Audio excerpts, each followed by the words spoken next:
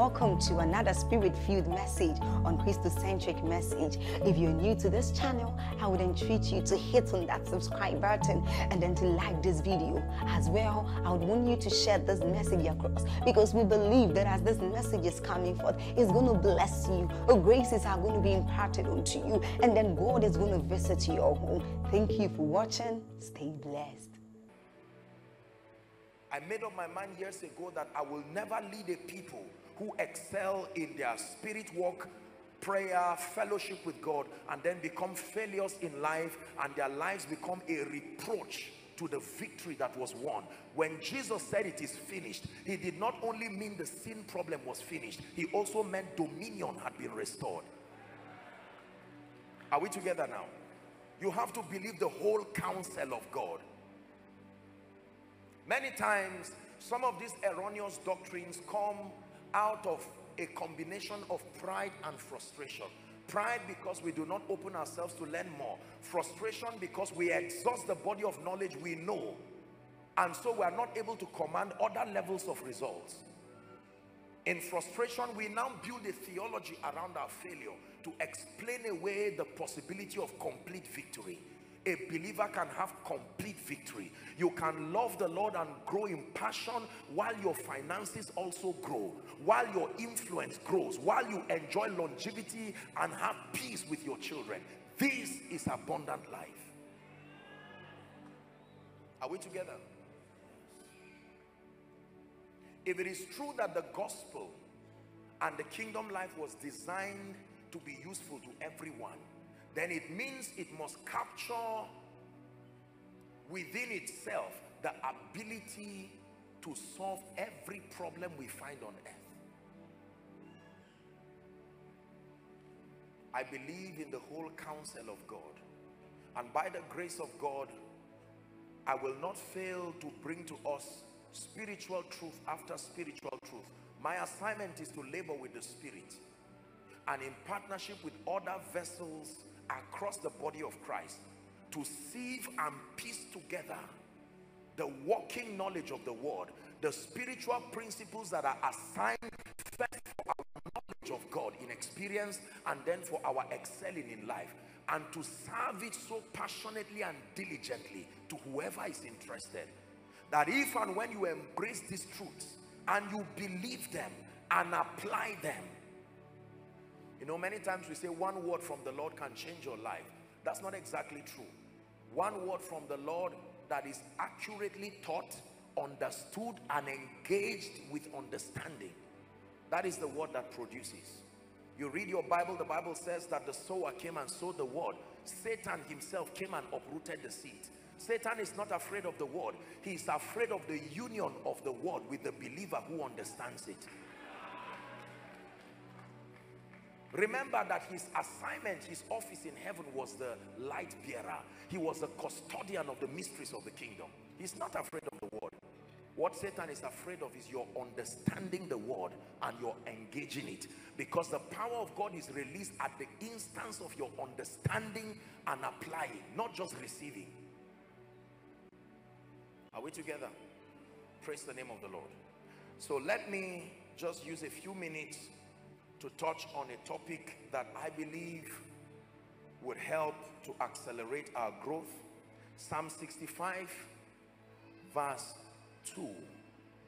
The mystery of prevailing prayer. The mystery of prevailing prayer. I want to teach you something about prayer to add to your spiritual arsenals that will command victory after victory in your life. The Bible says, O thou that hearest prayer. This immediately tells you not everybody can hear prayer. O thou that hearest prayer. It says, unto thee shall all flesh come.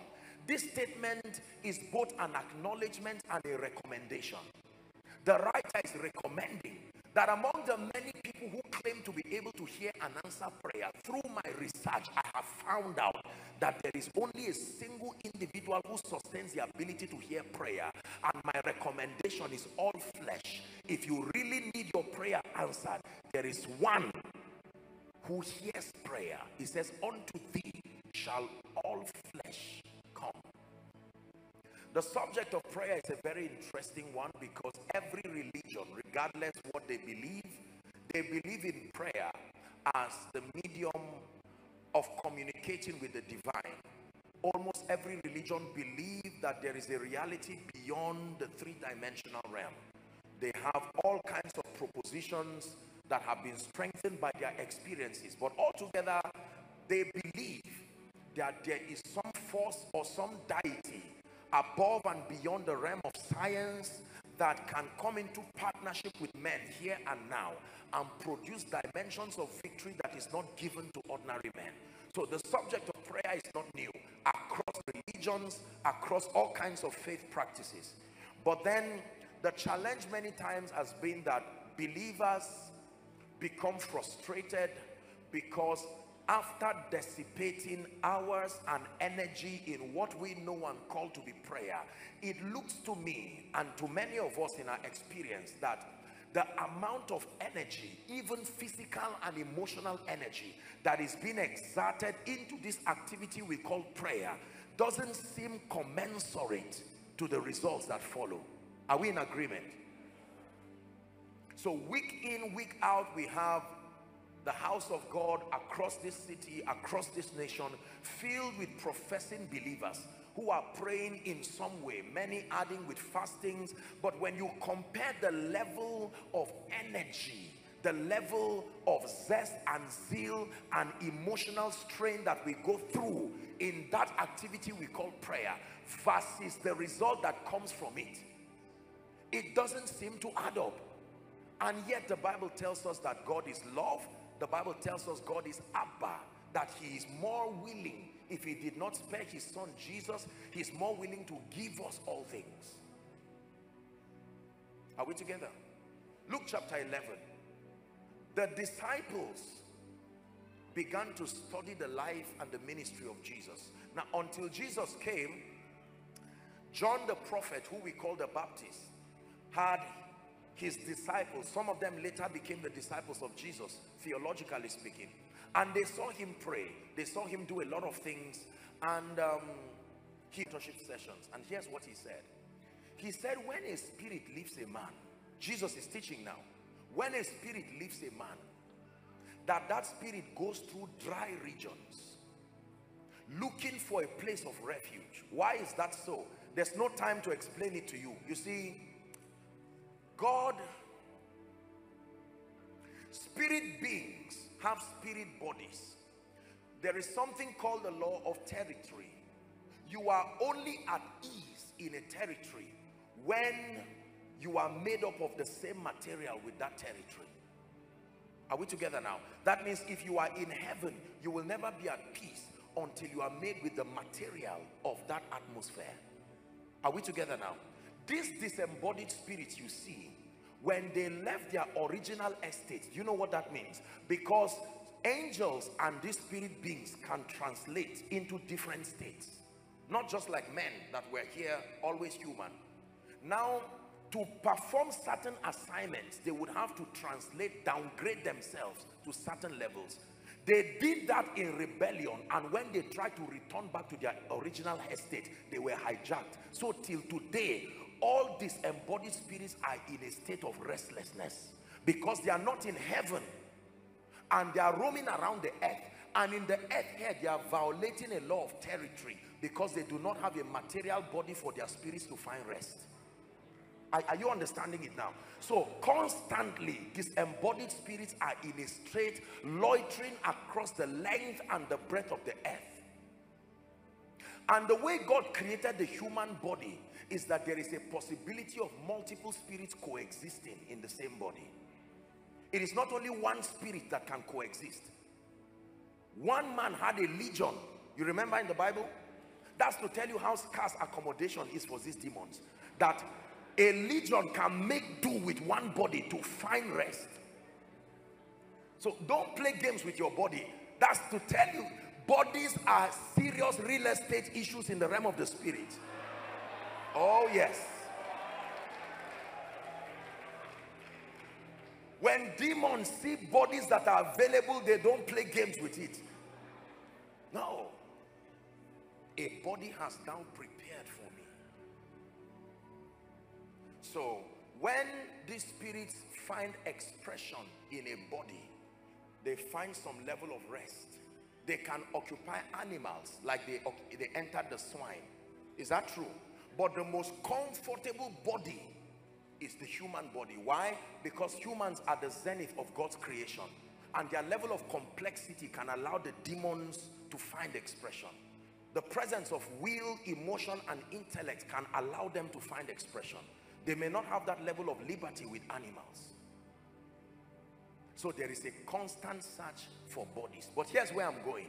The Bible says when a demon leaves a human body, it gets back into that state of restlessness. Are we together? It goes around dry regions and not finding a place. Here's what the demons will say. Like the prodigal son, the demon will say, I will arise and go back. And go back to my house. The demon is still calling the place he left my house. That means in his mind there is still a possibility of returning. And then the Bible says when it comes, it will find that body swept. It will find that body clean, but it finds it empty. And the demon is kind enough to invite other demons higher than itself to build fortification to return to that individual so that the latter part of that individual is worse than the beginning herein lies the mystery behind people who get free momentarily and then it looks like their situation multiply because they did not know what to do with the house of God. My house shall be called the house of prayer.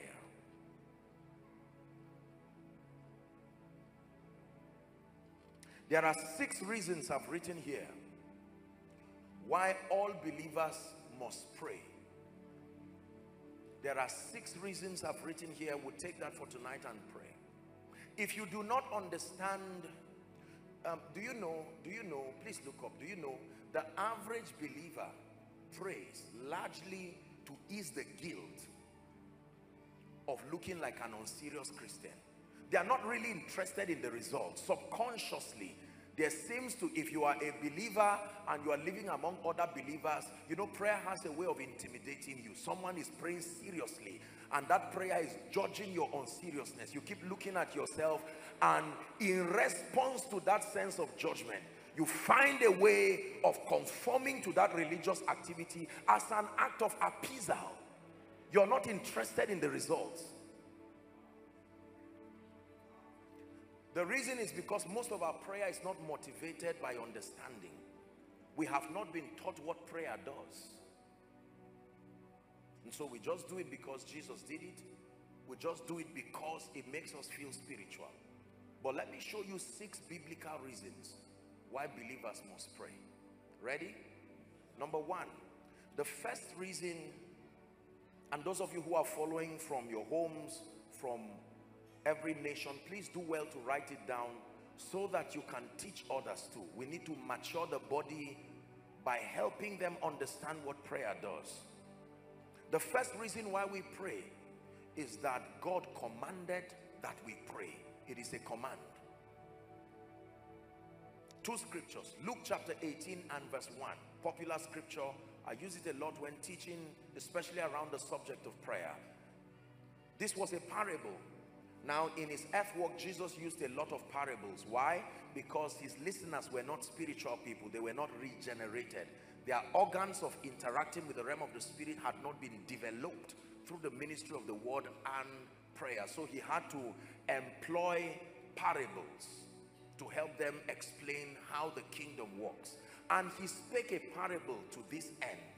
The moral of the parable is that men, everybody say men, men here doesn't just mean the male gender men humans that humans ought always to pray and not to faint. So it's a command. The whole idea of the story is to bring us to a point where we understand the power and the excellency of prayer. The bible says there was a city verse 2 luke 18 and verse 2 there was a city in a city a judge may you never meet this kind of judge in your life in jesus name. My apologies to those who are those of us who are judges and magistrates. I'm your friend. There was in a city a judge. Look at the description of this kind of man. The bible says which feared not god. That means it's difficult for god to speak to him. Number two he neither regarded man. You couldn't bribe him. You couldn't come and beg what sort of a man is this? So this is sin one. And then sin two the bible says there was a widow. A widow is a supposedly a defenseless woman. Her source of security and defense has been taken away from her. He's teaching you the power of prayer.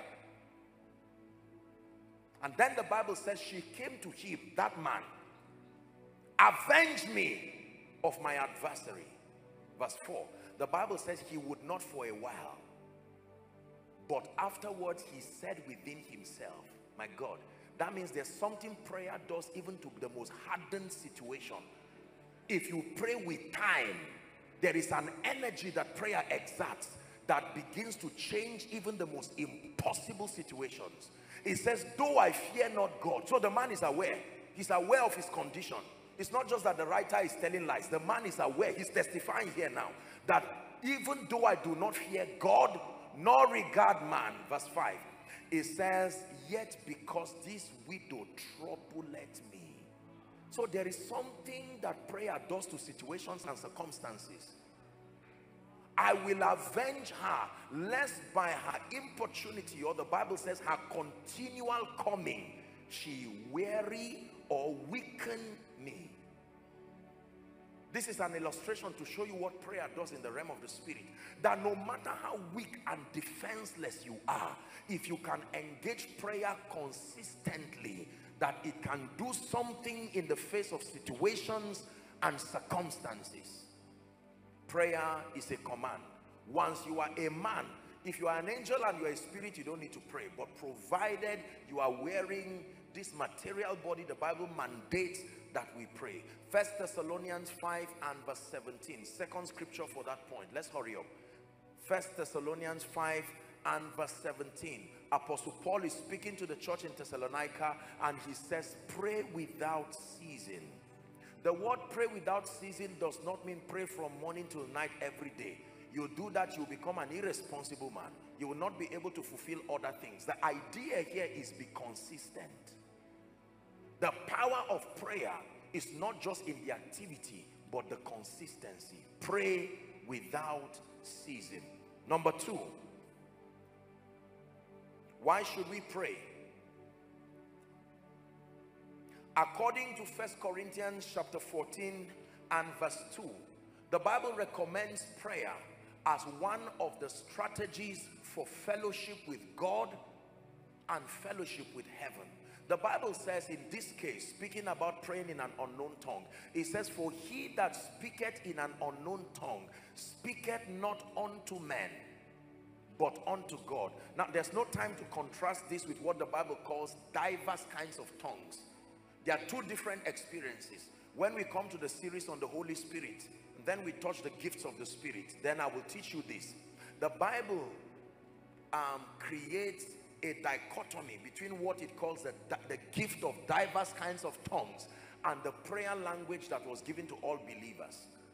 This has been an age-long controversy in the body of Christ as to whether it is all men that pray in tongues. Like all the other nine gifts, um, the gift of diverse kinds of tongues is not given to everyone. But the prayer language, it says, for this promise is unto you and to your children and to your children's children as many as are far off even as many as the Lord will call. When you read all through the books of Acts every time the Holy Ghost came it came on all of them no reservation. They were all filled with Holy Spirit. They began to speak. Whether it's Acts chapter 2 whether it's Acts chapter 6 to 8 whether it's Acts chapter 19 the most classic sign or the most classic defense of the baptism of the Holy Spirit with the evidence of speaking in tongues is found in Acts chapter 19. Maybe we just look at that very quickly just to clear the air on that. verse 1 the bible says paul having passed through the upper coast the bible says that um, he came to ephesus and then he found certain disciples follow the discourse verse 2 he said unto them have you received the holy ghost since you believed and they said unto him we have not so much heard whether there be any holy ghost they were disciples. So you see there was something about their teacher. Their teacher was not teaching them something.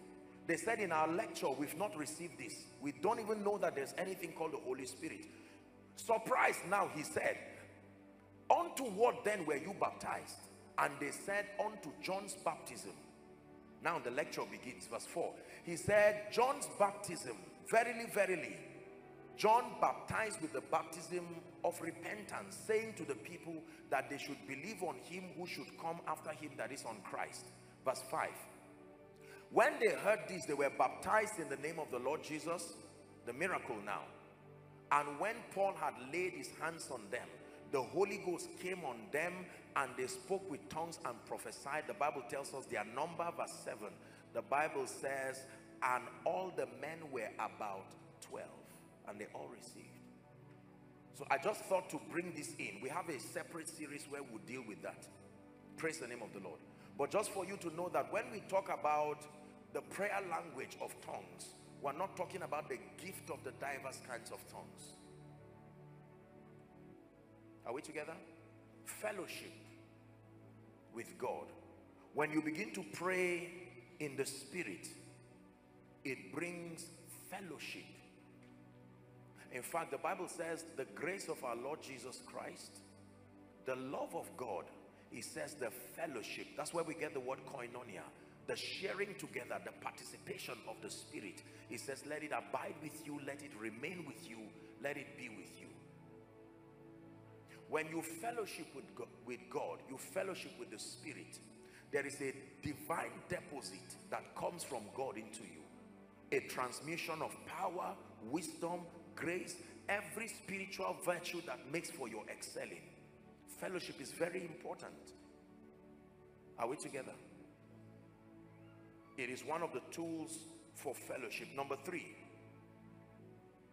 why does the bible mandate that we pray? Prayer is one of the authorized platforms for growth and for transformation prayer is one of the authorized platforms for growth and transformation. First corinthians 14 and verse 4 just two verses after what we just where we just read first corinthians 14 and verse 4 the bible says he that speaketh in an unknown tongue edifieth. Edifieth. The word edify is an architectural term you build yourself. You build capacity in the spirit. Remember the bible says if you turn aside in the day of battle it is that your strength capacity is small. So you build capacity in the spirit when you pray. He that prays edifies himself. Luke chapter 9 luke chapter 9 probably one of the most classic representations of the transforming power of prayer. Luke chapter 9 verse 28 and 29 luke chapter 9 the bible says and it came to pass about and eight days after these sayings he took peter john and james and went up to the mountain to pray. Verse 29 the bible says and as he prayed watch transformation. Two things happened one the fashion of his countenance was altered and his raiment became white and glistening. There is a dimension of beauty and glory. You evolve. It's like it's like a transformation into superior dimensions of yourself when you pray. I am telling you this works. You can pray your way to higher dimensions of yourself. Growth and transformation. Bring for me a weak believer timid completely ignorant but with the heart that is bent on prayer i show you a sign and a wonder just a few months and a few years later let one day become one week become one month become one year become three years become five years and i show you a sign and a wonder. Was it not Paul himself that says, I thank my God, I pray in tongues more than ye all. Are we together? I hope God is blessing us. Say amen. amen. It's very important that we pray. Growth and transformation is impossible for a believer if you do not pray. Now, you see, for many believers, prayer is simply a tool for petitions and for receiving, not transformation. The primary assignment of prayer, I'll be teaching as, as we proceed in the series. The primary assignment of prayer, believe me, is not for breakthroughs, for miracles, etc. No, most of the breakthroughs that we need we even need them in the first place because of ignorance of the principles of the kingdom. Remember the Bible says when you are praying, pray that your kingdom come. Because when his kingdom comes, there are many things you will not need to ask for again because of the presence of the kingdom. Most of the miracles that we seek today are acts of God's mercy correcting our ignorance. So if you understand the kingdom and the ways of God, your prayers will largely be that of fellowship and growth not just petitions because the accuracy of your understanding will bring triumph after triumph result after result in your life is that true God's desire is not for us to live in the realm of what we know to be miracles signs and wonders they are supposed to be um, a thing of wonder to unbelievers largely but to we who are in the kingdom Miracles help to escort us to the place where we get to maturity and accuracy in the spirit. Now we begin to live by the mysteries of the kingdom. Growth and transformation. Show me a believer who engages in prayer. For many of us, our prayer is not systemic, it's not methodical, it's haphazard. If you are fortunate to wake up early in the morning, good for God and good for you that day you can at least steal out 30 minutes quickly and feel spiritual and then backslide in a very very bad way until after one month or when situations wake you up. Then you quickly catch up. You ask for forgiveness you repent and then you start again. Do you know that even in the secular mastery is gained through consistency ask anybody who leads his field in the secular you do not become a professional in anything by just freelancing and shadow boxing and getting your way. You have to invest your time, your energy, your resources in ever increasing dimensions to attain mastery. Consistency, growth and transformation. You must get to a point where you see the relevance of prayer. You discipline yourself. You get up in the morning. This is the day the Lord has made. You're praying. You understand edification you begin to deposit prayer I'll be teaching us as the series proceed that prayer is one of the mysteries that is not bound by time that means you can send it to your tomorrow to wait for you prayer is powerful yes sir your prayer can be like an usher like a protocol. You send it into your tomorrow to verify that the road is clear before you arrive. If for any reason it goes there and find demons attempting to go ahead you know what the woman's prayer did to that church? That's exactly what will be happening while you come triumphantly. It's dangerous to step into a realm that prayer did not usher you into. It's risky because the whole world lies in wickedness are we together let's hurry up we have to pray Jude 1, Jude has only one chapter, verse 20. The Bible again talks about prayer. It says, But ye beloved, building up yourselves on your most holy faith, praying in the Holy Ghost. So prayer builds up. There are many ways that prayer builds up. It builds up by activating your organs of interaction with the realm of the spirit. So when you begin to pray, what happens to you is that your discernment and sensitivity is activated. You can know then you come into dimensions where people like Papa Hagin now begin to talk about the knowing of the spirit where you can know things even though your eyes may not see angels but you can know they are here and at first when you start in the school of prayer it will look like you are lying but the accuracy and the predictability of your results will convince you eventually that that faculty of perception is not a lie. You will know you will perceive danger. Prayer is powerful. It brings you to a point where you are able to interact that duality of realms. You are human yet you are spiritual. You can be in a place and yet perceive spiritual realities. Number four.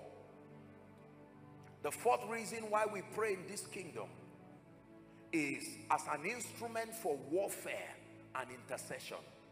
Yes sir. Warfare and intercession.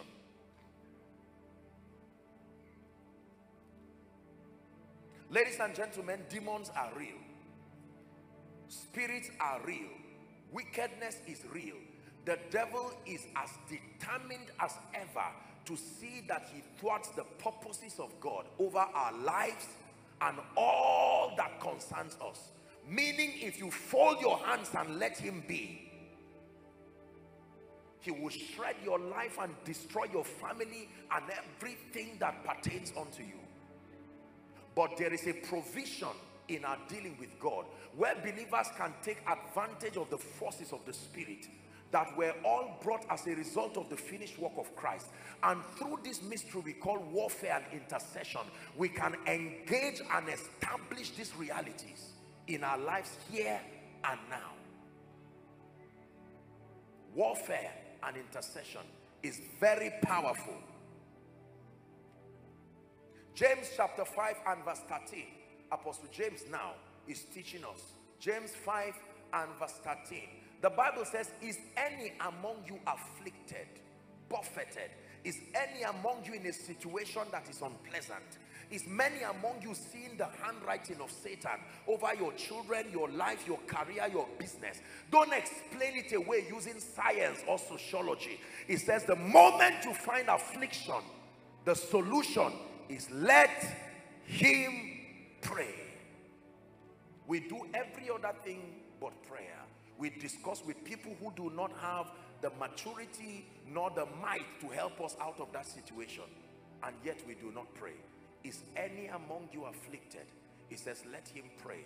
For time's sake, we may not read on, but when you read down to 18, it uses Elijah. It personifies an individual called Elijah, that he was a man of like passions, but he took the tool of prayer and literally stopped rain physically, not a parable, over a territory.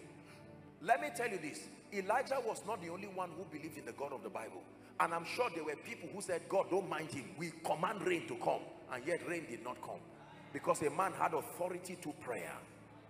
And God respected his authority. Regardless what you were saying that day, you will keep talking. If Elijah did not speak, rain would not come. May God give us that kind of authority. That you can stand and speak over your family and say, this year, you all rise and go to bed it doesn't matter who is talking after you. He spoke too late. You have declared. Let all the enchantments and all the divination speak. Not the one that you pray and then you go and lie down and say, what are they saying now? No. Elijah's authority, when he declared it, he said, I know God. He went to bed. There were other prophets under the custody of Obadiah. I'm sure someone would have been annoyed and say, what an arrogant man. God, bring rain to show this man he's not the only one. And God said, no, he doesn't work like that. When you ascend in this spirit and you have authority, you will do wonders with it.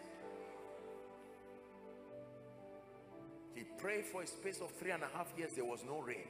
And then to show you it was not luck, he went again and did the same thing and rain came. Hallelujah.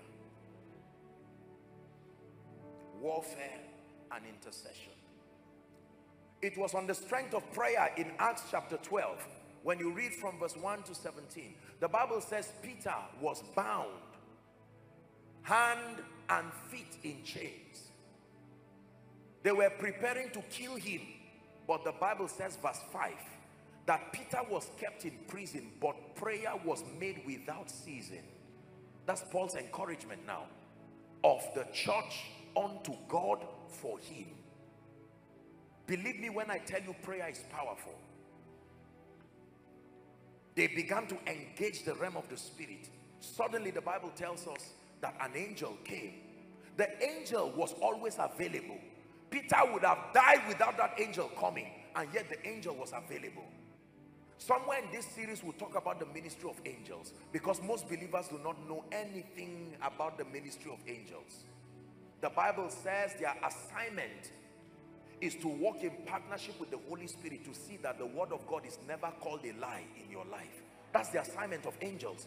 They are enforcers. That means when there is nothing happening from your end, they keep loitering around. Did you know that one of the ways that Satan knows God is doing something with you is through the activity of angels in the realm of the spirit? A prayerless believer does not have angelic activities. What are they doing? when Satan begins to sense unusual angelic activities he was once there so he knows uh -uh. these angels don't come for nothing they are coming in response when Jacob slept in chapter 28 of Genesis. When he slept the Bible lets us know that he saw a ladder connecting to the heavens. And angels were ascending and descending. The Bible never said they were coming to him. He only saw them walking. They were going to those who were calling their ministry. That was why he said the Lord was here. These angels were passing me and they didn't do anything to me there's no record of any angel bringing anything to him. Yet they were ascending and descending. Angels can be in your compound. They can be in your vicinity. They can be in your office. Ascending and descending bringing testimonies for those who are praying. Do not make the mistake of Jacob. Jacob said the Lord was in this place. I had a chance for my lifting. I had a chance for my rising. But but according to the law of the wheel it will be scripturally incorrect for the angels to come and do anything you did not ask them to do.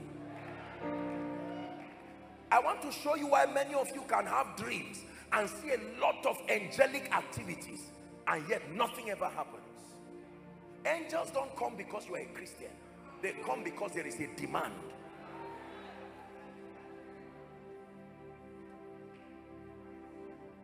Jesus kept speaking. He sent prayer to his future after three days I will rise.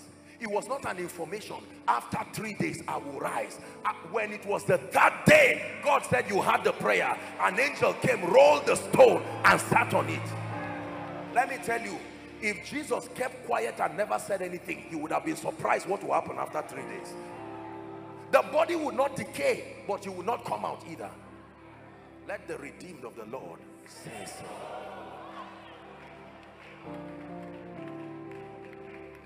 Believe what I'm teaching you is why many people do not rise.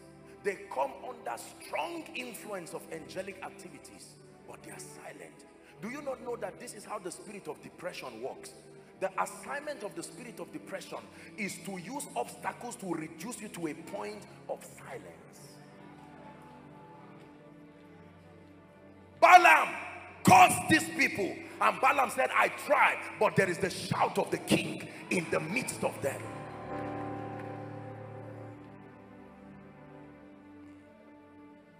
These are the mysteries that give us power and dominion in this kingdom. When you pray, there are tools of warfare. You don't fight, you only activate the laws that make warfare to be a reality. So what we call warfare is not you fighting. What we call warfare is you authorizing the host of heaven. Angel armies. My brothers and my sisters, you do not, one angel, two angels use hailstone. Is it in your Bible? When an angel stones you, will you be alive? Look at the Bible. These things were not parables. They actually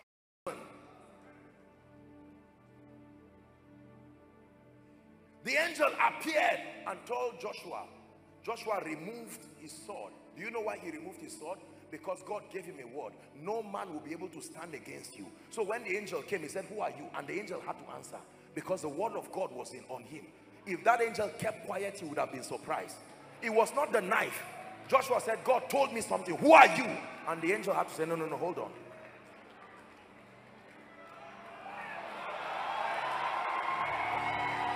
It is true.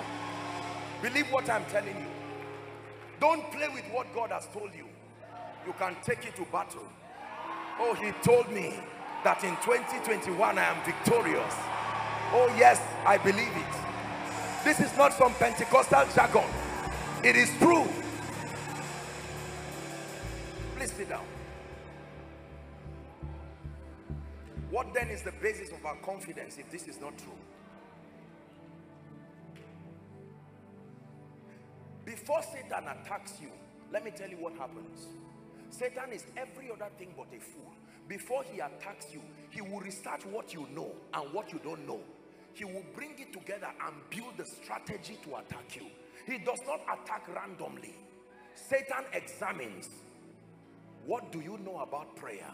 What do you know about agreement? What do you know about prophetic connection? Oh, he doesn't know so much here. What do you know about giving? So he brings it. What strategy can we develop? What are the loopholes in his spiritual life? That becomes the basis for the strategy. Is why Satan is almost accurate when he strikes because he does not shadow box. He uses your knowledge and your ignorance, puts them together and build the strategy for your attack.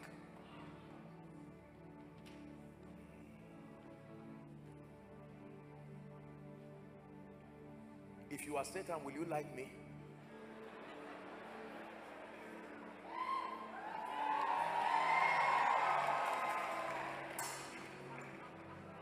Verse 5.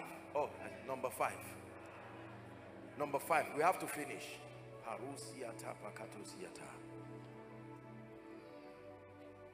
Luke chapter 22 from verse 30. Why does the Bible mandate that we pray? Prayer is now the platform to make our requests, our requests, our petitions known.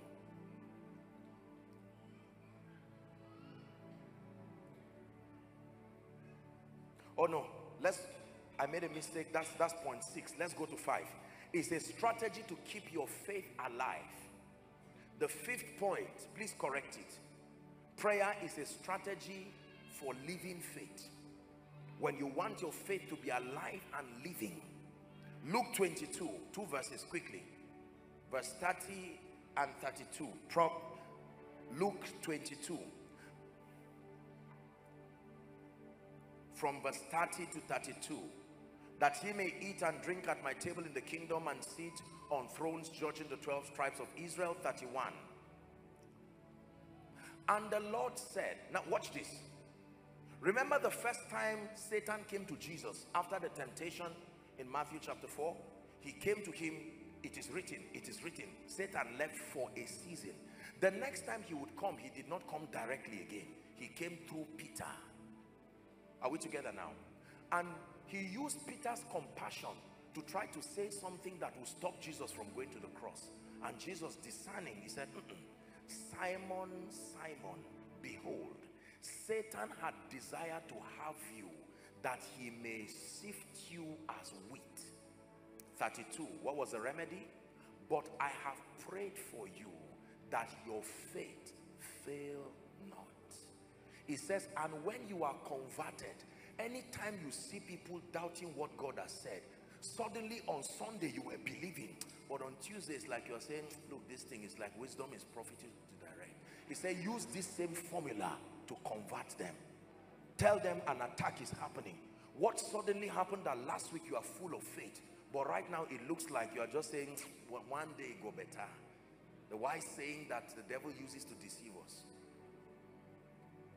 when your faith fails your convictions begin to dwindle the classic character of faith is found in Romans chapter 4 when you read it uses Abraham and Sarah as a portrait that he wavered not at his faith through unbelief. He counted God faithful. When you pray in the spirit, it truly keeps your faith alive. Because how many of you have gone to a place of prayer, you went doubting and you kept praying and suddenly it's like a generator. All of a sudden courage, you know that this is doable. You even ask God, forgive me for the kind of unbelief I used to come to pray. Now my heart is alive again. Hello, beloved in Christ. We hope this message was a blessing to you. I would want you to do something for us. If you are new here, kindly hit on that subscribe button for us and then like this video as well. Share to your family and friends to bless them because we that this message will be a blessing to their body, to their soul, and to their spirit. We would need you to do one thing for us too. Tell us in the comment section where you were watching us from. And if you've got any testimony for us, kindly share with us. Thank you for watching.